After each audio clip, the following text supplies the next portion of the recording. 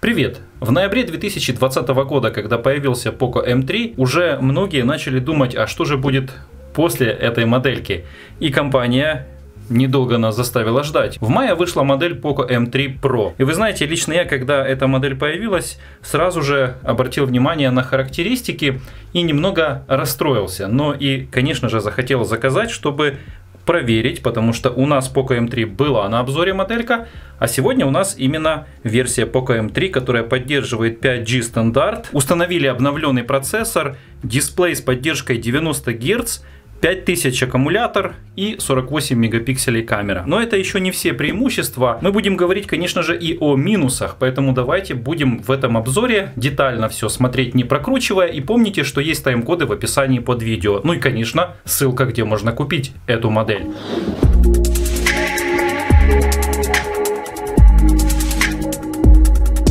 Комплектация уже лежит перед вами. Это по-прежнему желтая упаковка с надписью Poco M3 Pro. Здесь все характеристики. И у нас, кстати, самая максимальная версия. 6 гигабайт оперативки, 128 встроенных и цвет черный. Помимо самого смартфона мы получаем кабель USB Type-C и скоростной блок питания 22,5 Вт, благодаря которому он заряжается около 2 часов без всякого вреда для вашего смартфона. Радует, что в комплекте идет силиконовый защитный чехол и на первое время вам его хватит. Но я уже приобрел вот такой вот чехол-книжку с магнитной крышкой. Если туда вложить телефон, то будет все гораздо лучше смотреться. Дальше мы рассмотрим, так что не пропустите или используйте тайм-коды. И последняя составляющая комплектации это вот такой вот конверт. Внутри находится скрепка, а также инструкции и гарантии. Еще там находились вот такие вот наклейки. Одну я уже использовал, эти еще остались. Так сказать, для фанатов бренда Poco. Внешний вид, конечно же, будет отличаться от его предшественника. Корпус полностью пластиковый, имеет закругленные края, что привычно для современных моделей. Экран у нас с вырезом под камеру, и края экрана также закруглены. Экран защищен стеклом Gorilla Glass третьего поколения, сверху наклеена заводская пленка, но лучше использовать защитное стекло, ссылка есть в описании под видео. Сверху располагается разъем 3,5, второй микрофон и датчик освещения и инфракрасный передатчик для управления бытовыми приборами. Справа на торце находится кнопка питания. В нее встроен сканер отпечатка пальцев. При нажатии кнопка издает такие щелчки а над кнопкой располагается качелька громкости. Слева располагается лоток для сим-карт. Во-первых, он комбинированный, либо две нано-сим-карты, либо сим-карта и карта памяти до 512 гигабайт. Во-вторых, у него есть резиновая прокладка, благодаря чему не будет попадать влага и пыль. Снизу располагается гнездо для зарядки USB Type-C, отверстие динамика, в этой модели он, к сожалению, один, и маленькое отверстие основного микрофона. Над передним модулем камеры на торце экрана располагается сетка разговорного динамика. Благодаря Благодаря встроенному датчику есть активация при касании, двойной тап и экран засвечивается. Еще, если взять смартфон в руки, он также включается. И если у вас настроена функция разблокировка по лицу, он будет видеть ваше лицо, разблокируется и мгновенно готов уже к работе. Также отлично сканер отпечатка справляется со своей задачей. Прикоснулись, либо по нажатию, либо по прикосновению это все настраивается в настройках и тогда все отлично срабатывает. Теперь давайте поговорим об экране. Яркость максимальная и ее предостаточно. Минимальная яркость Практически ничего не видно, но что-то есть. Яркость минимальная отличная. Есть также все фишки, свойственные MIUI и современным моделям Poco. А именно темный режим, режим чтения. И помимо всего прочего есть новая фишка, частота обновления экрана 90 Гц. Новая фишка, я имею в виду именно у этой модели. И на примере этого изображения или этой анимации можно увидеть, что плавность картинки гораздо лучше. Чем выше частота обновления экрана, тем плавнее отображение картинки, видео, фото и так далее. Также можно настроить скрытие выреза. Например, если мы перешли и активировали этот режим, то у нас не видно. Если же отключаем, то появляется полноценный экран, но видно тогда глазок камеры. И, конечно же, есть управление как жестами, полнофункциональное на 11 андроиде, и управление через сенсорные кнопки внизу. Зайдя в раздел о телефоне, мы можем увидеть, что у нас установлена версия MIUI 12.0.9.0 стабильная, 11 Android, вот. А если еще зайти в Play Market, то отображается сколько из 128 гигабайт 116 свободно. То есть все остальное взято под систему и уже из этих 116 15 гигабайт мною заняты. В программе Antutu Benchmark этот смартфон набрал 327 522. В развернутом состоянии у нас вот такие вот тесты. И неудивительно, ведь по сравнению с моделькой его предшественника, его старшего брата Poco M3, потому что он впервые появился, эта модель немножко превосходит его в характеристиках, как по скорости оперативной памяти, ну и, конечно, по процессору. Давайте более детально рассмотрим эти параметры. Внутри установлен 8-ядерный процессор с максимальной частотой разгона 2,2 ГГц от бренда MTK, модель MT6833, или более красивое название Dimensity 700. Конечно же, он лучше, чем у предыдущей модели. И на момент обзора известно, что на этом процессоре уже создано 47 смартфонов, такие как Xiaomi Redmi Note 10 и 10T, Realme Narzo 35G, Honor X20 SE, Samsung Galaxy A22. За графику отвечает Mali G57, а значит как в играх, так и другие процессы он будет выполнять очень быстро. И дальше мы проведем тесты. Разрешение экрана 1080 на 2400, что очень четко передает картинку, видео и многую другую информацию. Плотность пикселей 440 dpi, диагональ экрана 6,5 дюймов, экран на 10 касаний. С камерами у нас практически ничего не поменялось. Единственное, что заметил, это была изменена фирма модуля макро, то есть мегапиксели не поменялись, но поменялась фирма. Визуально качество при этом не изменилось, не ухудшилось и не улучшилось. Основной модуль у нас на 48 мегапикселей, Второй модуль макро, и это отвечает за эффект боке. Не хватает широкоугольного модуля, который бы помогал в работе. Передний модуль камеры на 8 мегапикселей с разрешением 3264 на 2448. Видео снимает как передняя, так и задняя камера 1080-30 кадров. Конечно же, есть встроенный NFC, GPS GLONASS Beidou Galileo, двухдиапазонный Wi-Fi 2,4,5 ГГц и поддерживает возможность делать Wi-Fi репитер. Сейчас вы подключены к Wi-Fi. Мы нажимаем «Включить точку доступа», и у нас появляются две Wi-Fi антенны. Значит, мы наш Wi-Fi раздаем сейчас от нашей модели и можем зашифровать или же другой пароль, или наоборот сделать открытый доступ. Есть также поддержка технологии MIMO. Установлено 16 датчиков. Если интересно какие, можете остановить и посмотреть. Везде, где есть отметка бренда, это значит, что там он установлен. Все эти датчики помогают полнофункционально обеспечивать своему хозяину и владельцу полную отдачу в ежедневном использовании. Ну и теперь первая больная тема. Это то, что здесь аккумулятор не 6000, как у его предшественника, а здесь производитель установил 5000 аккумулятор. Почему? Если это версия Pro, то здесь должен быть ну не меньше 6000. Пусть будет даже 6500, ну хотя бы 6100, да пусть хотя бы 6, но не 5. Давайте теперь посмотрим на тесты. Конечно же, они были проведены, и аккумулятор от 100 до 0% взял 4609. Это не совсем хорошо. Но давайте разберемся, сколько же он продержится, если провести, например, онлайн-тест в YouTube. От 100 до 0% он разряжался, и на 80% громкости а также 80% яркости, он продержался 13 часов и 19 минут. Этот полный тест можно посмотреть в подсказках. А значит он проживет больше, чем один день. То есть два дня 100% на всей этой автономности, технологии энергосбережения на новом процессоре и оптимизированной прошивке MIUI поможет вам надеяться на него не меньше двое суток. Ну а вот еще один пример.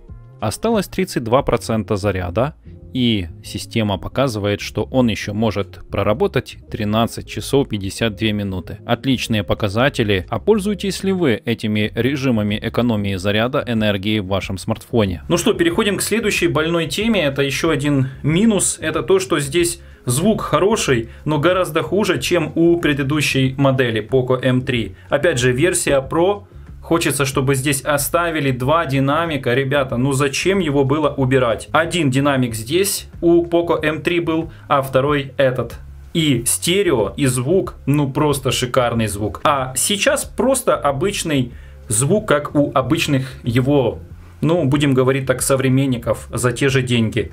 Ребят, ну, это просто вот послушайте, звук нормальный, но делюсь впечатлением, что не хватает стереозвучания. Максимальный звук установлен, запускаем.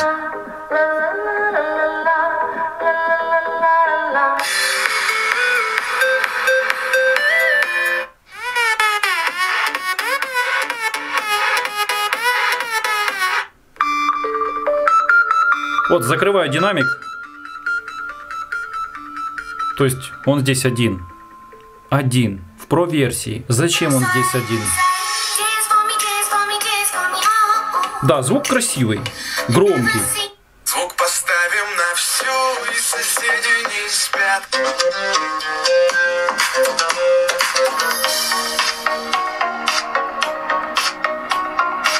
Если же подключаете наушники проводным или беспроводным способом, то качество звука, громкость на высоте. То есть к этому претензий нет. Зайдя в раздел «Инструменты», можно увидеть, что есть FM-радио, но без наушников не работает. Запись экрана, компас, пожалуйста. Раз, два, три. И, конечно же, программа Mi Pult управляет теми же бытовыми приборами с помощью этого передатчика. Во время записи диктофона используются сразу два микрофона, то есть можно вести запись разговора ваш и собеседника, который сидит напротив вас. Очень хорошая слышимость разговорного динамика, даже нужно прикрутить, чтобы не слышали рядом сидящие с вами, например, в автомобиле. Ну а если включаем громкую связь, то переключение во время громкой связи идет разговор на верхний микрофон уже, и собеседник вас слышит отчетливо и хорошо. Еще одним преимуществом то, что эта модель по своим заявленным характеристикам, не зря здесь в лотке была черная прокладка, так здесь защита IP53, как у Poco X3, у телефона, которым пользуюсь я. То есть действительно он защищен от каких-то влажных рук, от пыли и погружать, конечно, его в воду нельзя, но уже этот плюс радует. Камера обладает интеллектуальным режимом. Правда, вот если посмотреть на то, что сейчас отображается в кадре, и здесь видно, что немножко где-то есть э, какая-то игра с цветами, скажем так, больше синего оттенка. Возможно, еще играет от освещения в студии, потому что, например, вот если такой свет сделать, то ну, теплота света, то, конечно, это влияет и на камеру. Но скажу, что камера интуитивно вся понятна для прошивок MIUI. Нигде нет переключения сразу быстрого доступа к макро. Нужно, чтобы его переключить, переходить в настройки. И только здесь есть пункт макро. Съемка портрета, она очень хорошо справляется. В этом режиме смартфон переходит в поиск объекта, то есть человека, и очень хорошо выделяет его на фоне всего снимка. Еще одним минусом это то, что камера не снимает в 4К. Хотя, опять же, Pro. Пусть сделали бы 4К 30 кадров и 1080 60 кадров. Но нет, здесь только 1080 разрешения 30 кадров. Это тоже его минус. Радует, что есть отдельный режим профи. Перейдя сюда, можно все настроить в режиме фотографии или же в режиме видео. То есть переключаем на видеосъемку и также производим под себя настройки. Еще здоровски отрабатывает Стабилизация, конечно же, она здесь электронная, но справляется со своей задачей очень хорошо. Посмотрите, какая плавность.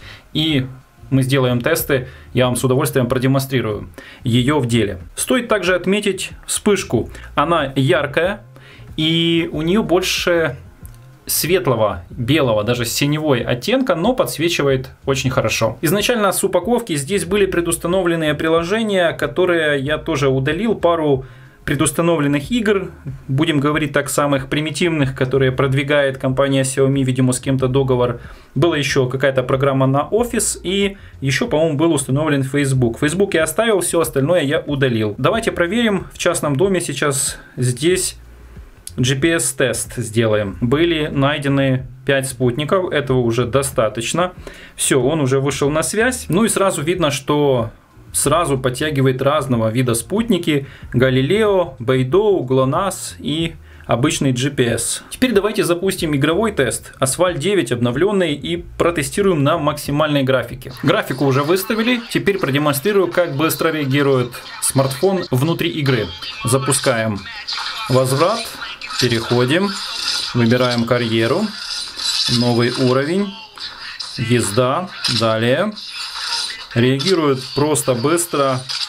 И обратите внимание, что я в перчатках без проблем срабатывает чувствительный сенсор на прикосновение. Ложных срабатываний нет, приятная вибра во время использования при наборе текста. В общем, все фишки MIUI и бренда Poco. Итак, мы стартуем.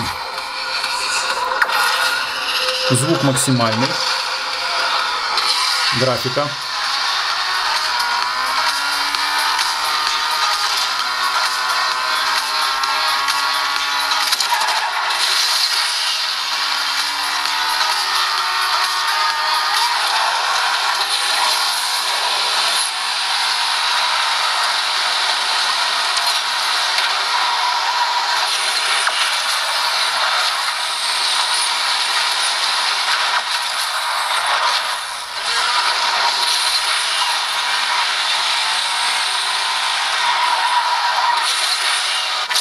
Графика отличная.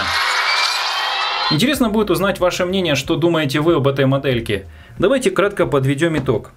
Пока я буду одевать его в защитный чехол для его будущего владельца Александра.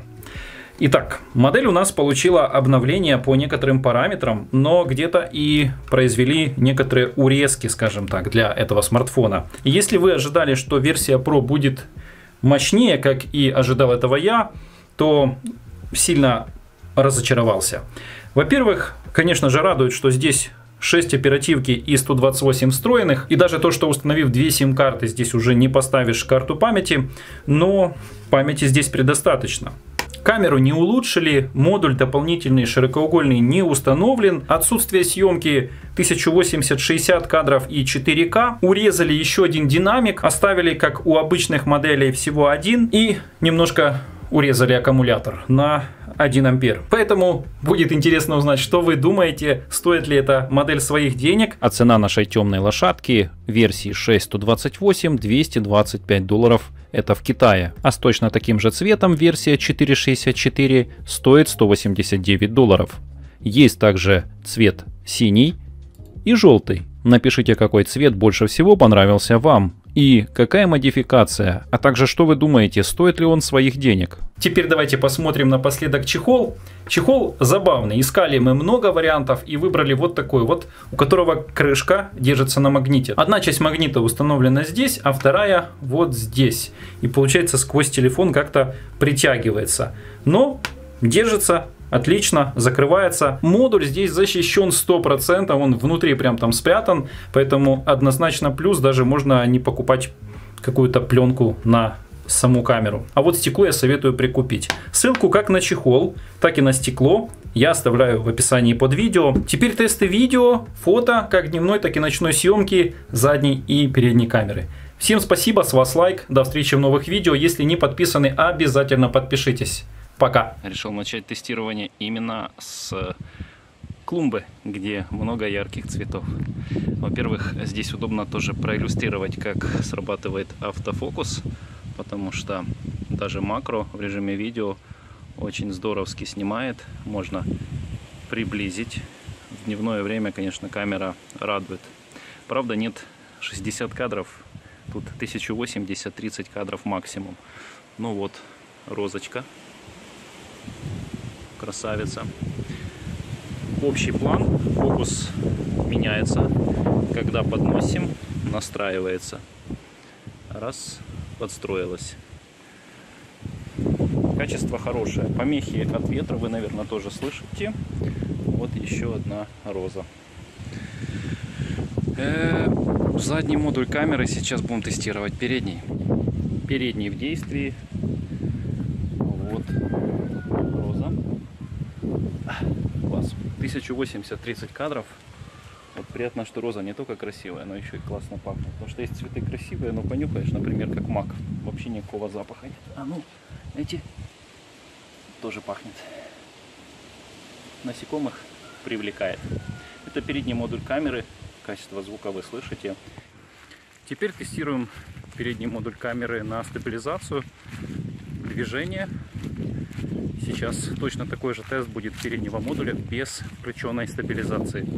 Стабилизация отключена и сразу факт на лицо. Все дребезжит.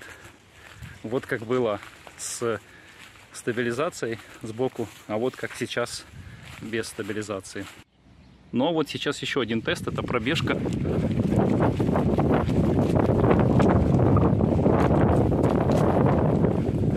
Очень хорошо справляется со своей задачей. Это ночные тесты. Камера Poco M3 Pro 1080-30 кадров и в настройках отключена стабилизация. Давайте проверим ночные тесты с той стороны. Вот мы заходим, где темно, появляется много шумов, но видимость, видимость, конечно же, сохраняется. Что я вижу? Когда вот больше света, то шумов, но не так заметно. С фокусом давайте проверим, как работает автофокус. Вот тут он должен настроиться. Вот, подстроился сам. Отлично. Хорошо. Теперь передняя камера. У передней все как-то размыто. Будто бы, ну, какой-то туман слегка. 1080-30 кадров, но очень тяжело справляется, хотя яркий свет попадает. Чем ближе к свету, тем четче картинка становится, но я не вижу, чтобы вот он стал прям про. Это просто такой себе фишка в камере. В отношении камеры это да. Еще пару тестов замедленной съемки этим смартфоном.